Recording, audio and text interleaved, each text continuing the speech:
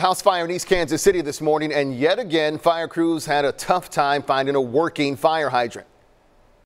Pumper 23, back out. We got all dead hydrants. 23, back out. We have no water. We'll have to find another hydrant, gentlemen. 41 Action News reporter Nick Starling is live at 16th and Oakley where that where that fire started. So Nick, what happened? Well, no one was hurt, but you can see this house is badly damaged. It's a total loss. And firefighters were hampered a little bit because none of these fire hydrants were working. Now, we just checked in with the water department and they said up to this year, from January to July of this year, they've had to replace 1,000 fire, fire hydrants because they're not working. It's a problem that doesn't seem to be going away anytime soon.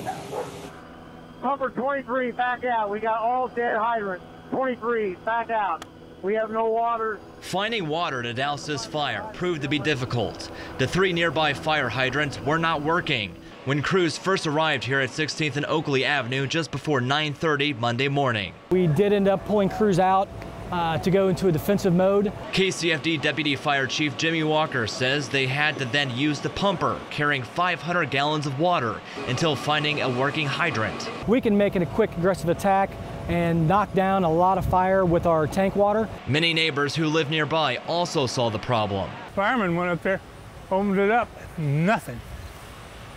They said there's another one didn't, down there didn't, didn't work. It's kind of sad about that fire hydrant not working though. I mean, that's kind of bad in this neighborhood. This is the second time in as many months KCFD has run into this issue.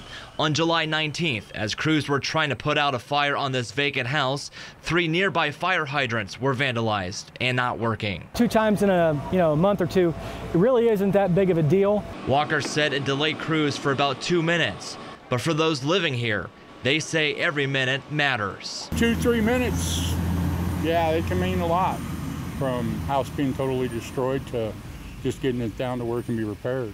According to KCFD, they check these hydrants every year and are 94% complete for 2018.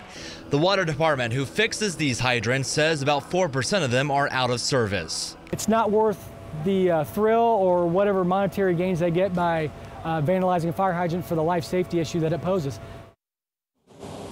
And if you see a broken or vandalized fire hydrant, you're urged to call the 311 hotline. Then the water department will come out here and fix the hydrants. Point live, Nick Starling, 41 Action News.